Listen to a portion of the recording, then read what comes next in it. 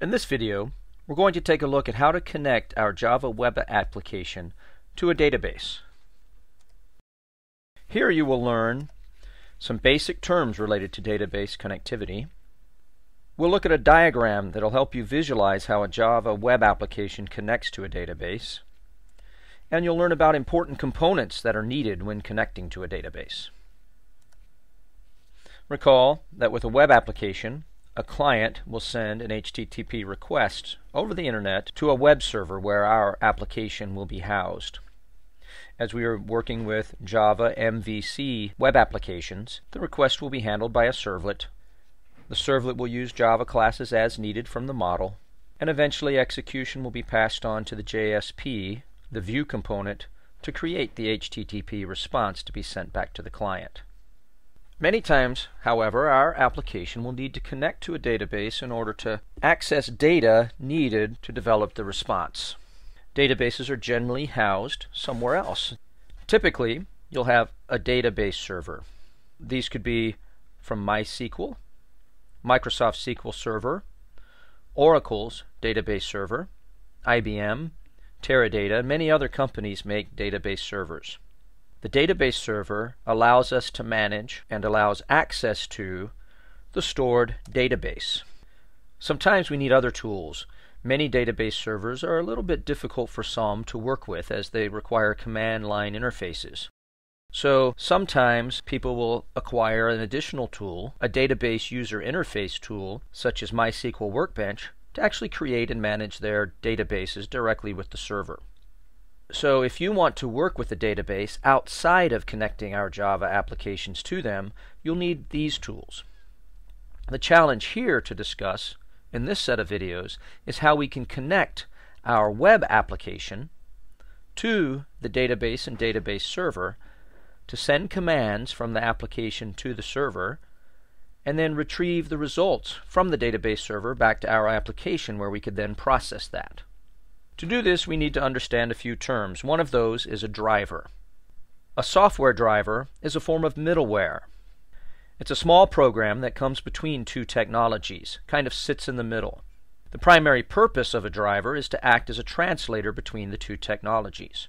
You may have heard of drivers when you're working with your home PC and your printer.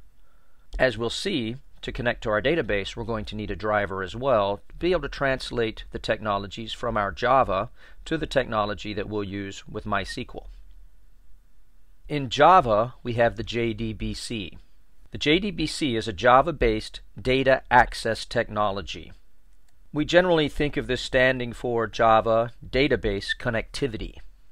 The JDBC provides an application programming interface, or API, for the Java programming language that defines how we may access a database with our applications. In practical terms, there's a number of classes included in the JCL which will help us connect to a database, send commands, and work with the results. Collectively, those make up the JDBC.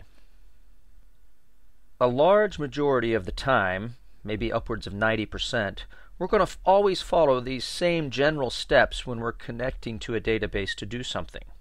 We will import and attach an appropriate driver to the project. I've labeled this as number zero because this is going to be done when we create our project and it'll be done one time. For each use case, for example, if we want to read from the database or create records in a database, update records or delete, we're going to have a use case for each time we want to connect to the database. Each one of these, we're going to make a connection to the database. Then we'll make a prepared statement that will allow SQL commands. Then we'll execute the SQL command to get some results. And then fourth, we'll process the results. If you remember these general steps, you'll find that we use them throughout the example for each of the typical CRUD use cases when connecting to a database. Here's our diagram again where we see a connection between our JDBC and with ours we're going to be typically using a MySQL database server. Remember JDBC is the technology on the Java side, our application server. MySQL is the technology on the database side. In order to connect these two technologies, we're going to need something that can translate JDBC commands into MySQL commands. For that, we'll need a driver. Drivers are very specific to the two technologies that are used. The one we'll be using is known as Connector J, and you can get that from the MySQL website. If the two technologies were something different, however, we would get a different driver. ODBC for Microsoft to MySQL, for instance. The driver that we obtain and use in our application is going to depend on which two technologies we're connecting. Keep that in mind if you ever use something else for your database or your application programming language. First thing we'll do, or the zero thing we'll do, is we'll obtain the driver, store that somewhere we can get to it, and we'll add that to our application. I'll show you how to do that in a later video. Once we have the driver, we need to establish the connection. The connection is the orange box shown here connecting our application to the DB server. We do that by declaring a connection. The connection class is part of the collection of classes that are used within the JDBC. Once we have the driver, we can use it to create our connection. And at that point, you can think of having a tunnel that goes from our JDBC application to the MySQL database server.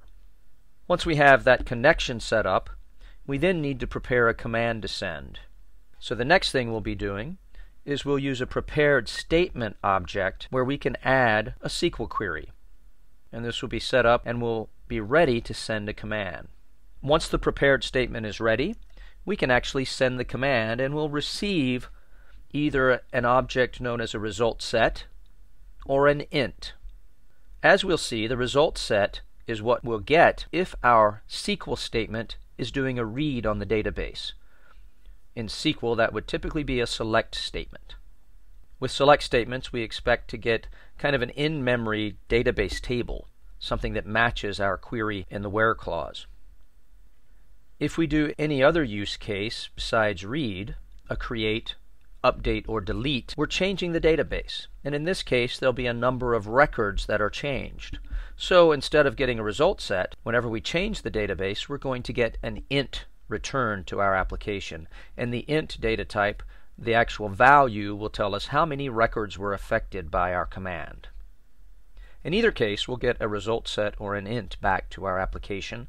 So the fourth thing we'll need to do is within our Java classes, or perhaps within our servlet or JSP, we're going to process those results. We'll either work through the result set to do something with the data, or we'll be able to do something with the int, perhaps make a message that says so many records were affected. As we go through the videos, we'll see all of these things happening over and over as we create an example for each item of the CRUD acronym that we'll need to implement against our database. In this video, you have learned some basic terms related to database connectivity.